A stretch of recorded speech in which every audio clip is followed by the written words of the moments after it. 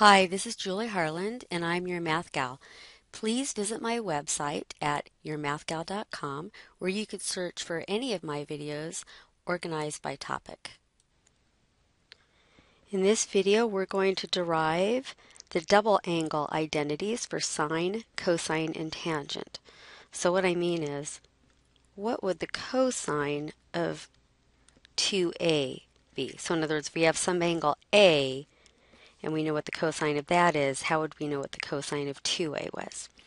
Well, we can do this by rewriting 2a as a plus a, and then we could use the formula for the cosine of a sum of two angles, which is cosine of the first angle times cosine of the second angle minus sine of the first angle times sine of the second angle which give us, gives us cosine squared A minus sine squared A. So this is an identity. Cosine of 2A is equal to cosine squared A minus sine squared A. Let's look at an example. So let's say we had a right triangle. Let's say this is A, this is 4, 3, and 5, so it's a 3, 4, 5 triangle. And I can see what the cosine and the sine of A is. So if this is A, you could see that 2A would be, you know, two of these angles next to each other. So how would we figure out what the cosine of 2A was for this angle A? Well, I could use this formula, cosine squared A minus sine squared A.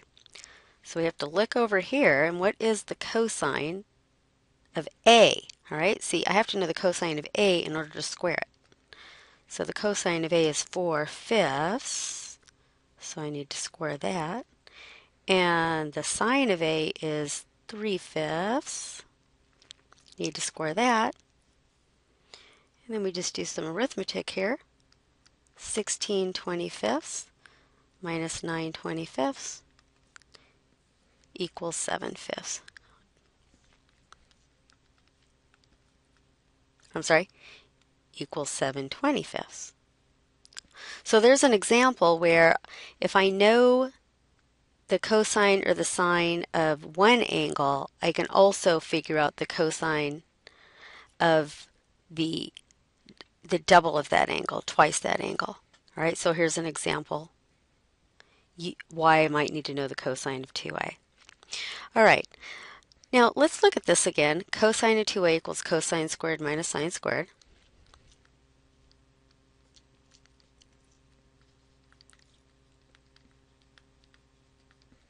Okay, and actually what I did was want to write the entire thing, which was cosine of 2a equals that.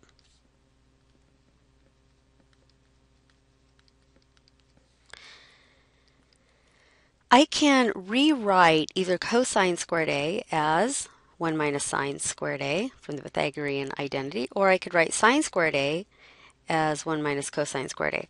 I'm going to take cosine squared a and write it as 1 minus sine squared a. Okay, and then I also have this minus sine squared a that is over here. So these are like terms here. This gives me 1 minus 2 sine squared a. That's another formula for the cosine of 2a. So let's look at that same triangle. And remember when we did it the other way, we found out that the cosine of 2a was 7 25ths. How about if we use this formula instead? Instead of cosine squared a minus sine squared a, let's use that one. So if we say the cosine of 2a equals 1 minus 2 sine squared a, to look at my picture here, what is the sine of a? So we look at the picture, that's 3 fifths. And so I've got to do 3 fifths squared because I'm squaring the sine of a. So that's 1 minus 2 times 3 fifths squared is 9 25ths, which is 18 25ths. And of course, you could write 1 as 25 over 25, right?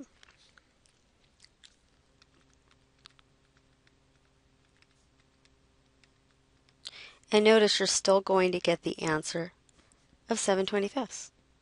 So we have two formulas so far that I could use for the cosine of 2a. There's one more. So let's go back to the first one we discovered, which was cosine squared a minus sine squared a. And let's leave the, cos um, the cosine squared a here, and let's rewrite sine squared a as 1 minus cosine squared a using the Pythagorean identity. Because we know that cosine squared a plus sine squared a equals 1. All right, now let's distribute our minus sign to what's inside the parentheses. Now I've got two like terms here. 2 cosine squared a minus 1. Okay, there's another formula for the cosine of 2a. We've come up with three of them. Let's take that same triangle again. And remember the previous two ways we did it. We got that the cosine of 2a was 7 25ths, right? But now let's use this formula. Cosine of 2a equals 2 times, now cos squared a means you have to take the cosine and square it. So you look over here and the cosine of a is 4 25ths. I'm sorry, is 4 fifths. Square it, minus 1, which is 2 times 16 25ths minus 1. Right? Okay, which is is going to be 32 25ths. And I may as well get a common denominator right now, so I'm going to write 1 as 25 over 25. And lo and behold, no surprises here, we get that the cosine of 2a again is 7 25ths. So we've just computed the cosine of 2a for this angle A using our three new formulas for cosine. So here are our three formulas. I usually just remember the first one, cosine squared a minus sine squared a, and I know I can get either of these other ones by either replacing the cosine squared a or the sine squared a with the appropriate other part due to the um, Pythagorean identity. Okay, so which one would you use? Well, if you know both the cosine of A and the sine of A, you could use any of these, right? But if you knew the only the sine of A, you might want to use this second one because that's all you would need to know to plug in the formula. Or if you only knew the cosine of A, you might want to use this third one. So actually, it would depend on which uh, information you already had, and that might help you decide which one of these formulas to use. All right, let's go on to figuring out the sine of 2a.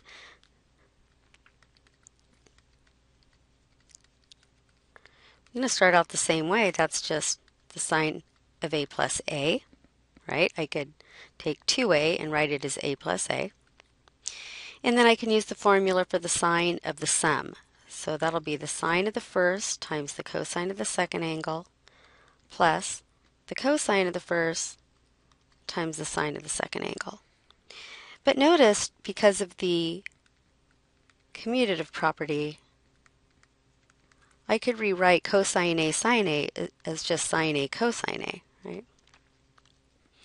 So these are really just the same two things. That's like x plus x, like terms. So I get 2 sine A cosine A. And you know what? That's the only formula for the sine of 2A.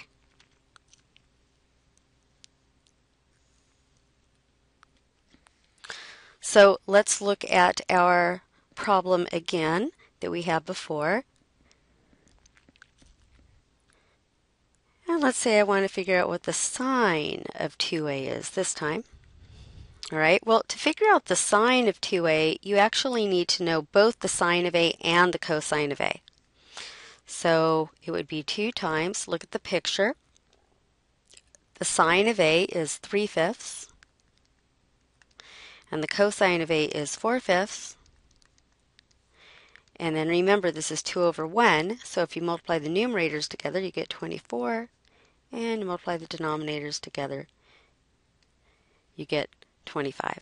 So the sine of 2a for this particular angle A would be 24 25ths. Now remember, we're not finding the sine of A, we're trying to find the sine of 2a. That means you would double this angle. All right, so it would be a bigger angle. It looks like it's still like less than 90 degrees, so it would probably still be in the first quadrant. All right, let's do the third one. How about the tangent of 2a? Well, again, we can rewrite 2a as a plus a. And then we could use the formula for the tangent of the sum, which will be the tangent of the first plus the tangent of the second over 1 minus the tangent of the first times the tangent of the second. Of course, of course, the first and the second are both a. So in the numerator, those are like terms. That gives me 2 times the tangent of A. And the denominator, this tangent of A times tangent of A, you could that's tangent squared A. So I have 1 minus tangent squared A. And now we have a formula for the tangent of 2A. All right, just for fun, let's now use that same triangle again and figure out what the tangent of 2a is. Feel free to put this on pause and do that on your own. All right, so here's our trusty angle A. We would like to know what the tangent of 2a is. So it's going to be 2 times what the tangent of A is. All right, look over here. What's the tangent of A? It's 3 fourths. And in the denominator, it's 1 minus the tangent of A squared. All right, so if the tangent of A is 3 fourths, when you square it, what do you get? When you square 3 fourths, you get 9 sixteenths. So now you have to simplify this complex fraction. So what you could do is multiply the numerator and denominator by the least common multiple, or you could simplify the numerator and denominator separately first, and then uh, division is multiplying by the reciprocal. I like doing it by multiplying the numerator and denominator by the least common multiple. So I am going to just multiply the numerator by 16 and the denominator by 16. And I see in the numerator 4 goes into 16 four times. So, I mean 4 goes into 16 four times. So what do I have left in the numerator is 2 times 3 times 4. That's 24 in the numerator. Right, now in the denominator, I have to distribute the 16. 16 times 1 is 16. And when I do 16 times 9 sixteenths, that's going to be 9. So I'm going to have 16 minus 9, which is going to be 7. So my answer is 24. Not writing that very well. 24 sevenths, and that gives you the tangent of 2a. Now, if you wanted to simplify this fraction differently, you should get the same answer. So if you have 2 times 3 fourths over 1 minus 9 sixteenths, this is just a little bit of arithmetic help here. Um, I could cancel the 2 and the 4, so I would get a 3 halves in the numerator. And then 1 minus 9 sixteenths is going to be 16 sixteenths minus 9 sixteenths. That ends up being 7 sixteenths. And then that would be 3 halves times the reciprocal of 7 sixteenths, which is 16 sevenths. And then notice you could cancel the 2 into the 16, and you're still going to get 3 times 8 is 24, and 1 times 7 is 7. So you're still going to get 24 sevenths if you simplified that fraction a little bit differently than the way I did it. All right, so those are the formulas for the cosine, sine, and tangent for double an angle, and then some examples using them. So here they are. So here are the formulas for the cosine of 2x, the sine of 2x, and the tangent of 2x. And over here on the right, was our example, and we found the cosine of 2x, the sine of 2x, and the tangent of 2x using all these formulas. One last thing, notice another way to get the tangent of 2x is to simply use the formula that the tangent of 2x is the same thing as the sine of 2x over the cosine of 2x. So if you forget the formula for tangent, you can just compute the sine of 2x and the cosine of 2x and divide. So in this case, the sine of 2x was 24 25ths, right? And you'd be dividing it by the cosine of 2x, which is 7 25ths. And if you multiply by the reciprocal, you're going to get exactly the same thing. So if you do 24 25ths times 25 sevenths, you will get that the tangent is 24 sevenths as well. So remember, if you forget the tangent, you could at least go back and compute the cosine and the sine and then divide those answers.